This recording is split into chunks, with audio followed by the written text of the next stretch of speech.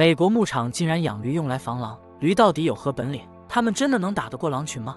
前段时间，美国中西部的牧场连续几天遭遇了狼群的袭击，饲养的牛羊不仅被野狼祸害了，就连守护牧场的牧羊犬也被咬死了几只。这对于牧场主来说是极为惨痛的损失。可这群野狼明显不是等闲之辈，普通的牧羊犬根本无法招架。那么该如何保障牧场的安全呢？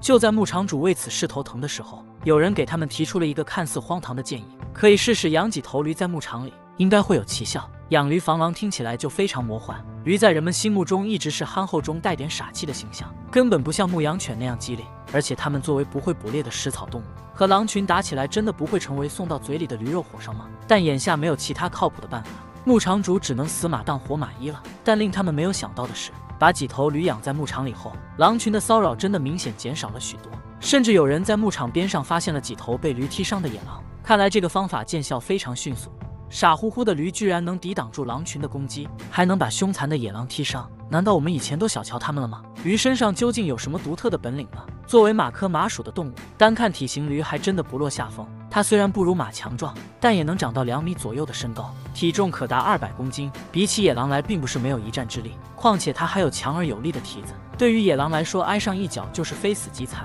杀伤力非常可观。驴竟然能够抵御野狼，美国牧场养驴防狼当场见效。驴到底有何秘密武器？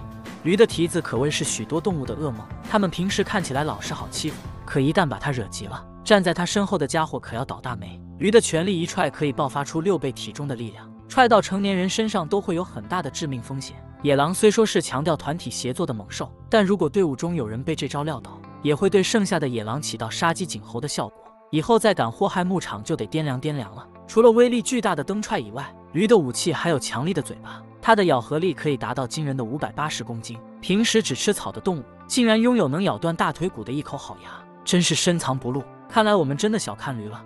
除了战斗力够用外，驴比起牧羊犬来说，性价比高了不少。首先，它的价格就比大多数牧羊犬便宜。在美国，一只训练有素的牧羊犬起码要一千美元，而一头驴的价格只需要八百美元。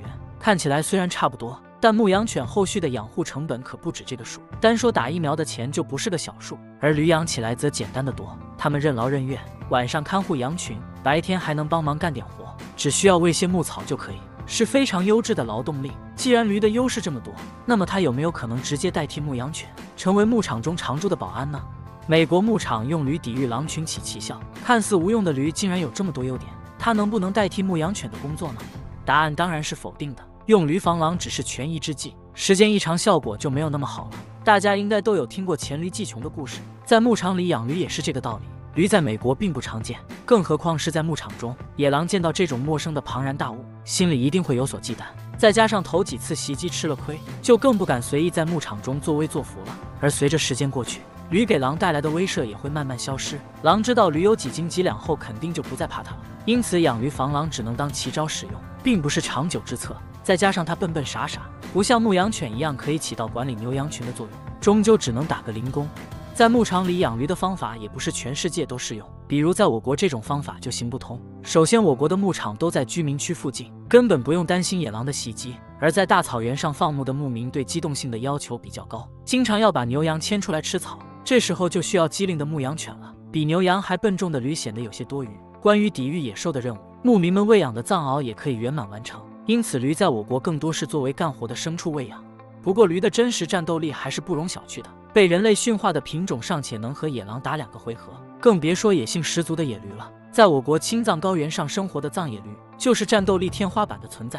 它们成群结队行动，就连高原上的雪豹都得畏惧三分。对此，你有何看法呢？欢迎到评论区留言。科普解说员在线征稿了。